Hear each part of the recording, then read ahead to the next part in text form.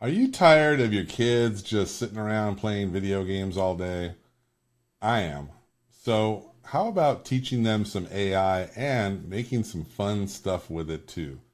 Hey everyone, I'm Dave Basulto. I parents, teachers, and students how to use AI effectively.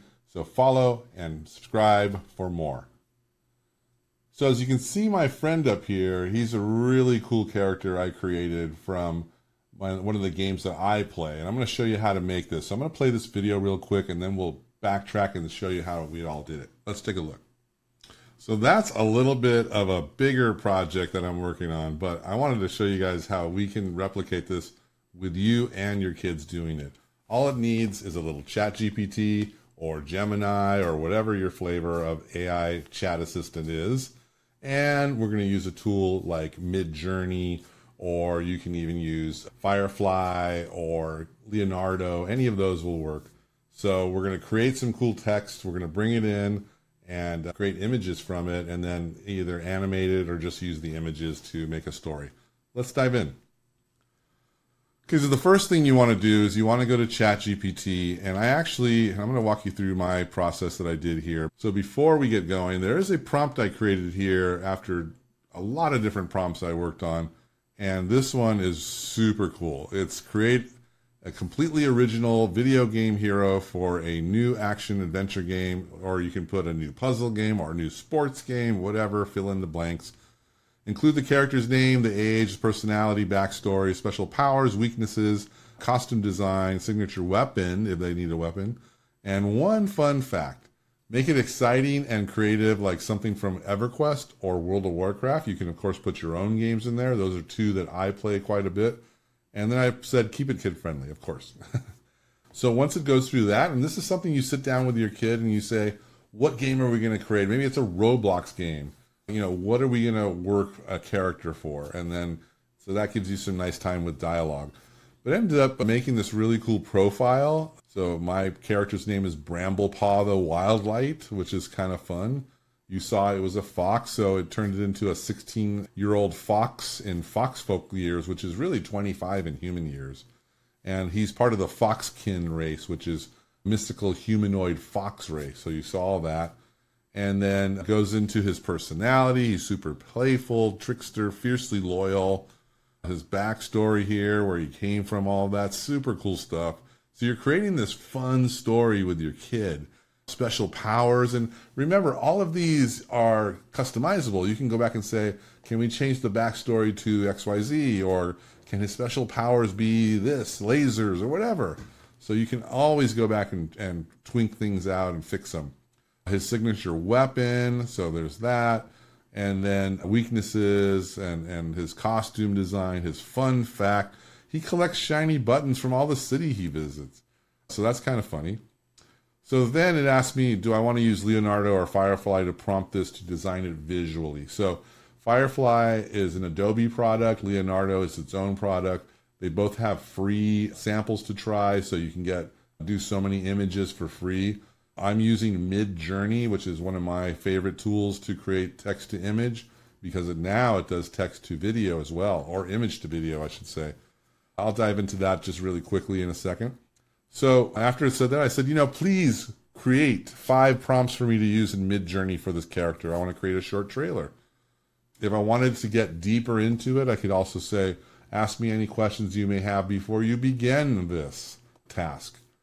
So it went in there and it said created these first five. So this is the first prompt. All you do is copy and paste it into the app that you're using in the prompt box. For this particular one, I'm going to go through them in a second. The first shot was incredible. You saw it. The second two started to become very Pixar-ish. So let's dive into into Midjourney. So here we are. I'm going to scroll down a little bit until we get to. So these were the first images that it created for me. And in Midjourney here, you just click on create and up here on the top and you just type in whatever you want it to do. Um, so these were the first images that it created, and I thought these were really great off the back. So then, once you pick one that you like, and of course you click on them and you can see what they are and how great they look. Next thing I can do is click on this new animate tool here so I can animate it and turn it into a video clip.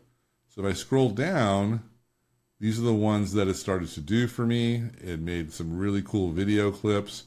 You can extend it automatically. So I actually made these a little bit longer up here for my video.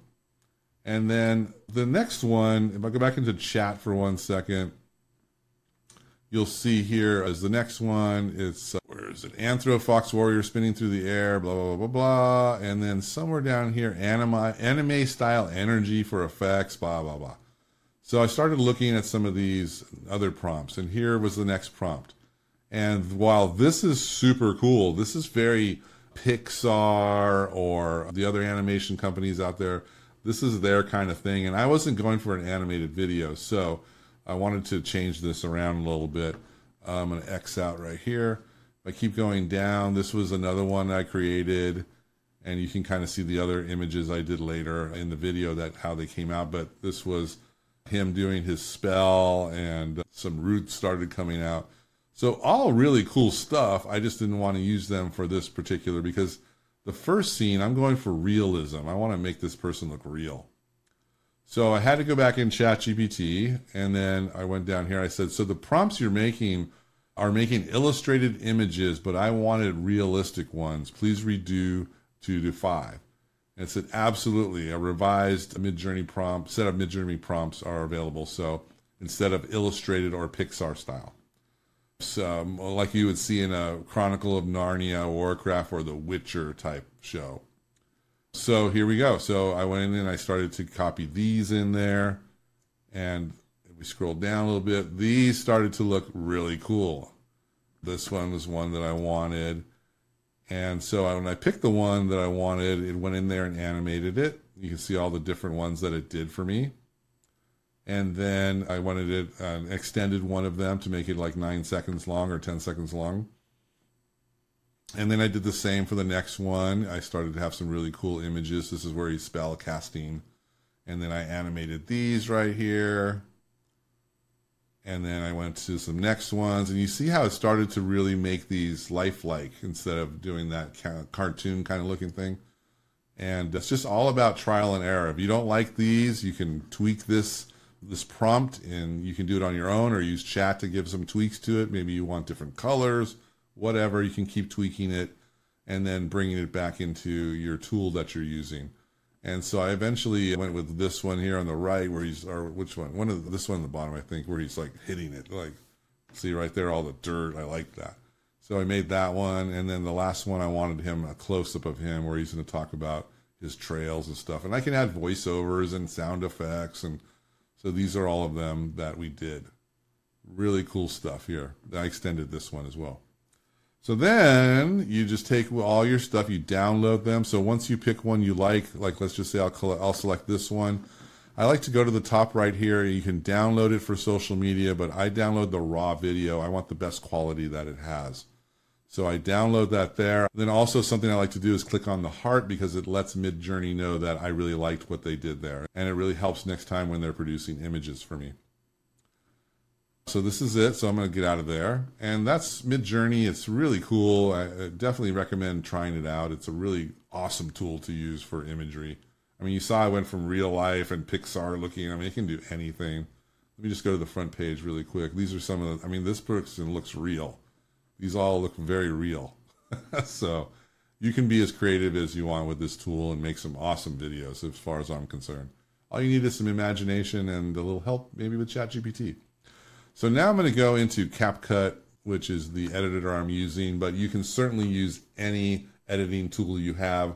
iMovie comes free on the iPhone, iPad, also the computer. You can get iMovie, but CapCut's my choice for this particular one if I was going to go and make something really professional, I might use Adobe Premiere Pro or DaVinci, which are more professional level tools. And it's interesting because I can really, I mean, looking at some of the stuff here, this could be something cinematic and make and turn it into like a little video, like coming of age movie with the fox. so this is it. So inside of CapCut, this is the layout. It's a really simple tool. You just import your videos. Right here's the import button it lets you pick whatever you want, you import it, and then once it's in here, you just can either drag it down to the timeline or you can hit the plus button, it'll start adding it in the timeline. What's super cool about this tool that I really like is that once I had it all edited, I went into this audio tool here and I clicked on it once. And I wanted it, after it says yours, there is AI music. Let me see if I can go back. So in AI music, you can, and it's totally free to generate AI music, you can generate your own music. So I said a cinematic theme for a Lord of the Rings type of movie trailer. I didn't know if it would know Warcraft or my other game. And so that was it. I hit go and it created all of these here. I ended up picking uh, Heroic Dawn Overture, which we're using down here. And what's nice too is I can see the beats where I can trim my footage to to start the next scene.